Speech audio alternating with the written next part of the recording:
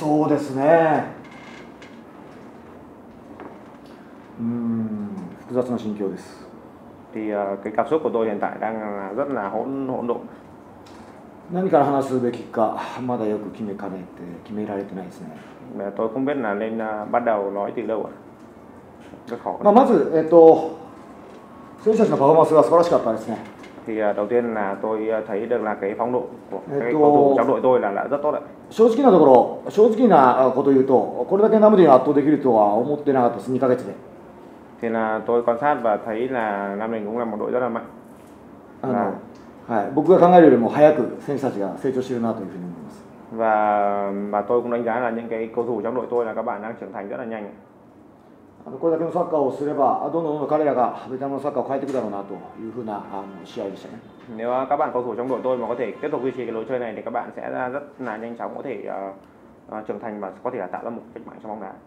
という気持ちです thì đó là cái ờ, cảm xúc hiện tại của tôi Ờ, tại sao trong trận đấu ngày hôm nay là sang hiệp hai với thay Tuấn Hải vào và khi thay Tuấn Hải vào để phát huy được cái tác dụng là đem cái bàn gỡ hòa cho Hà Nội thì tại sao trong hiệp một thì ông lại không であのトンハイ選手があの後半から交代であと入れただけどなんであの前半から入れなかったんですかと皆さんご存知のように怪我してるんで thì là cũng như là các bạn đã biết là Tuấn Hải thì bạn ấy đang bị chấn thương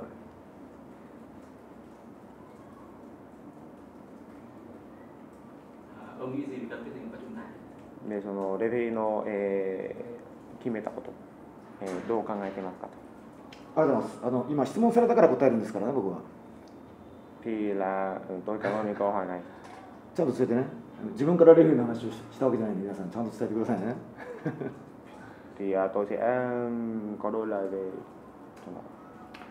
っと、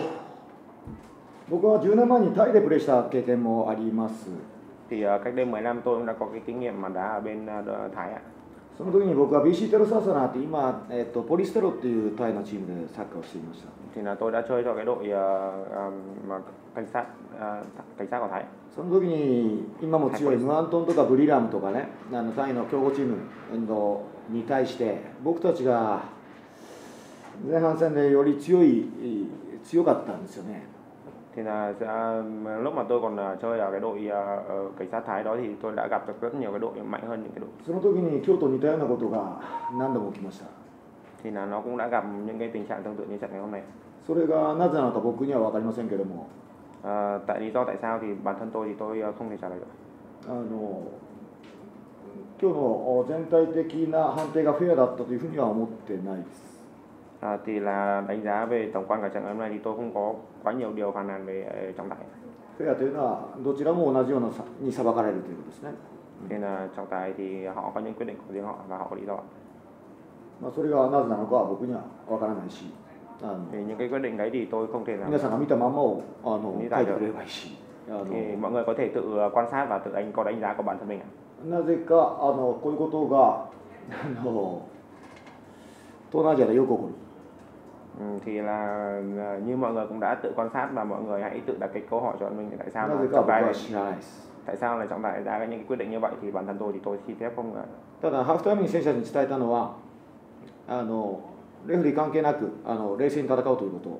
nhưng mà trong cái thời gian giữa hiệp thì tôi chỉ có nói với các cái bạn ờ, cầu thủ trong đội của tôi là hãy ờ, tập trung cao độ vào trận đấu hãy tập trung vào lối chơi của mình そしてあのサッカーで上回ろうということですね và cố gắng là cải thiện ờ, à, tập trung vào cái lối chơi của mình và có thể trưởng thành ạ. それは選手たちはやってくれたというふうに思っています và ờ, các bạn cầu thủ đã làm rất tốt cái điều đó ですのであのうちの選手たちがナミの選手たちに負けたというふうには今日は思ってないです thì tất nhiên là cái kết quả hôm nay là hai một cho Nam Định nhưng mà tôi thì tôi ờ, đã thấy được cái sự cố gắng ờ, sự trưởng thành của các bạn cầu thủ và tôi không nghĩ đây là một trận thua 誰に負けたかは僕は言いませんけど thì cái việc mà ai thua thế nào thì tôi cũng sẽ không nói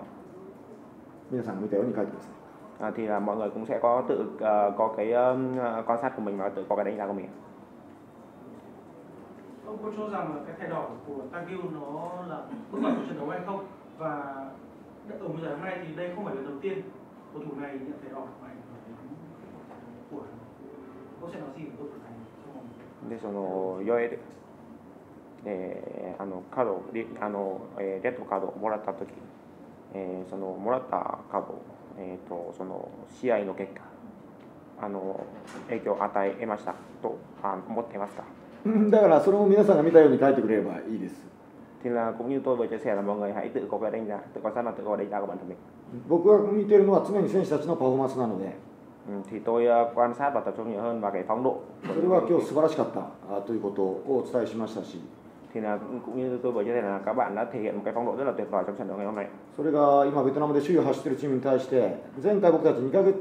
1ヶ月2ヶ月前に一度対戦してその時とは全く違う試合展開でしたね